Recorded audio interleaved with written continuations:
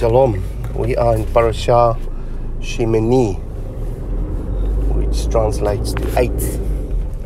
Now, today I want to talk about the eighth day, but the context of the eighth day is basically what is in the previous Torah portion. Tzav.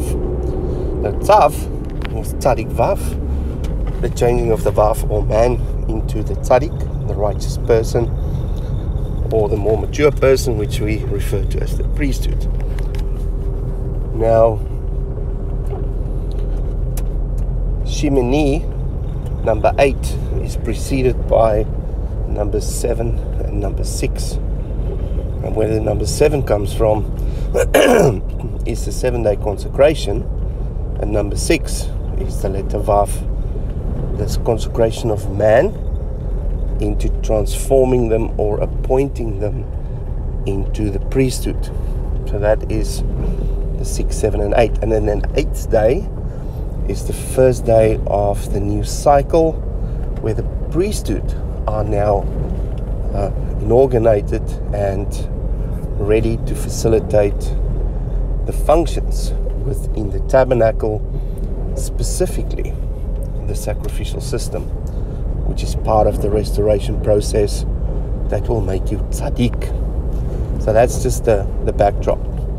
Now, what's interesting from the previous Torah portion, we re- re- read that they ate unleavened bread, and the unleavened bread relates to it's the word matzah, and it relates to the time or the seven day feast called unleavened bread. And it's preceded by Pesach, Passover, the day of preparation where the lamb was consumed.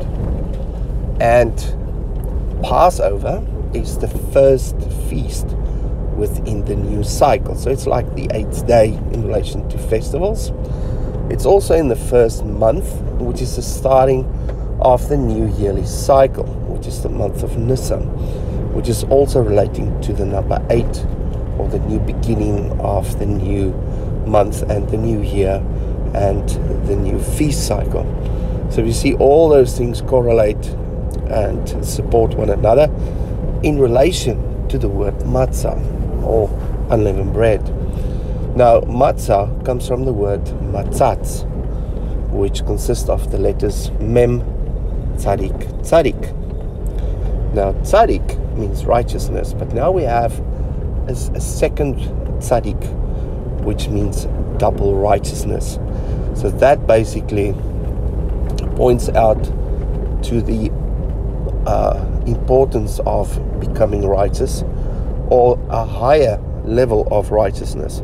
So if you look at the priesthood in comparison to the people, the people need to be righteous, but the priesthood need to be more righteous, and that righteousness is to know what is right and to do what is right in regards to their task or their role as the priesthood. Now, this word matzatz is only found once. Oh, it actually means to drink, to suck, and it's in relation to a new baby drinking milk. So the additional tzaddik in, in relation to the meaning of the word matzatz is the breast of the mother feeding the new baby. And that is now the revelation or the symbolism of the priesthood. They are effectively the mothers that will nurture the babies, the new people coming into the household of Yahweh. So that's the context. And where this word matzatz is first found in scripture, it's actually only found once in scripture. And if something is only found once, it emphasizes it even more, and that's in Isaiah 66. You have to read the whole Isaiah 66 to get the full content of what this is about. But it's basically Israel being born in one day, and it referred to her sucking and drinking the mother's milk. And that is the, the birth of Israel. So, what we see in this parashah is the eighth day after the consecration or the process of the birth, which relates to Pesach, which relates to the nation leaving, and that's the, the place in Egypt when you celebrate Pesach where you are born again. That's a symbolism of that, and it's also confirmed when you walk through the Red Sea, which is the waters breaking open, and then you get born into the wilderness, and then you face the mountain, which is basically the Torah of the mother or the guidelines of the mother within the household, teaching her children the ways of Yahweh. So that's just a, a beautiful picture of what it's all about. Now, Isaiah 66 not only have the concept of that in verse 11 about the birth of Israel, it also talks about in verse 3 rebuking uh, people defiling the tabernacle. Yahweh don't want anyone to defile it, and that is the responsibility of the priesthood. That's underlined there um, verse 3, and then verse 5 he referred to trembling at his word. That's also something that both the priesthood and the people need to understand is to take Yahweh's word serious. Yesterday we look at taking away from the word, adding to the word. So this is what that means. Tremble at his word, just keep it as it is and try to understand it the best of your abilities so you won't alter it in any way and just obey it because that's part of your cleansing process as you interact with the word at the laver where the priesthood teach you the ways of Yahweh. And um, then later on in verse 15, it talks about the judgment of fire. Yahweh's conceiving fire and his sword come against his enemies.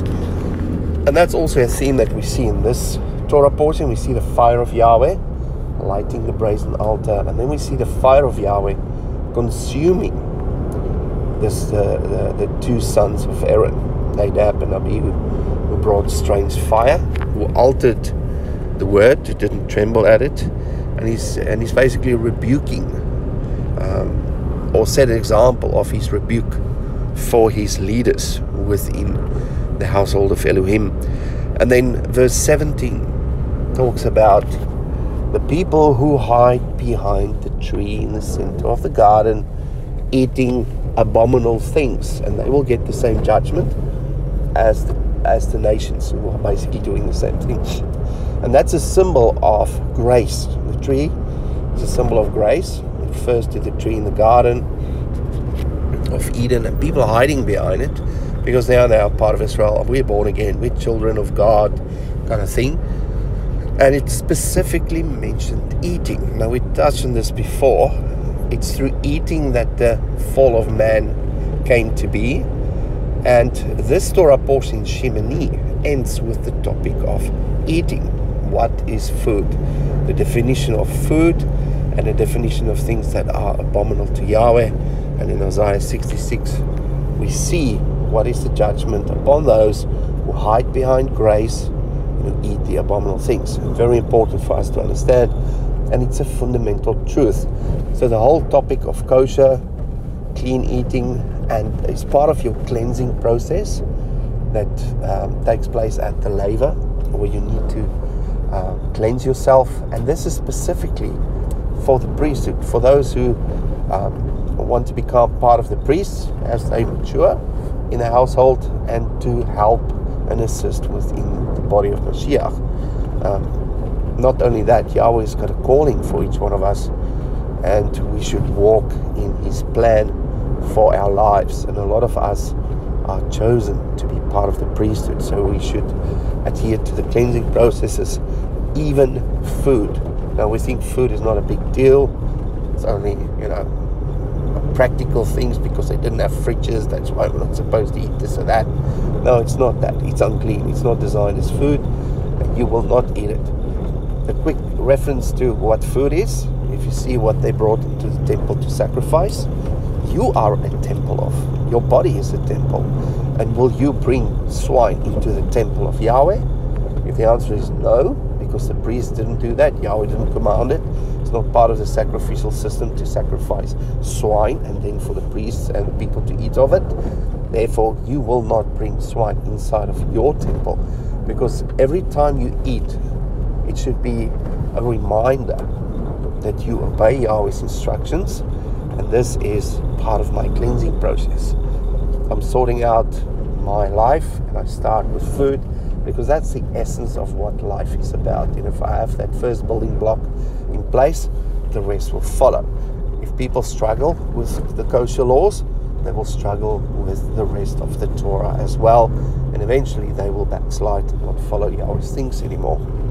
So I just want to leave you with that very interesting Torah portion. Remember, the context is the center of the Torah, the two um, places where the center words of the found, and the center letter, the Vav, and the consecration of the Vav, which is making that Vav a double tzaddik, or to anoint them as the priests, or the mothers that will nurture the babies at the birth of Yisrael within your time, within your life, within your household, within your community, and within your fellowship. So I leave you with that, and I hope you have a lovely day. I will speak to you soon. Shalom.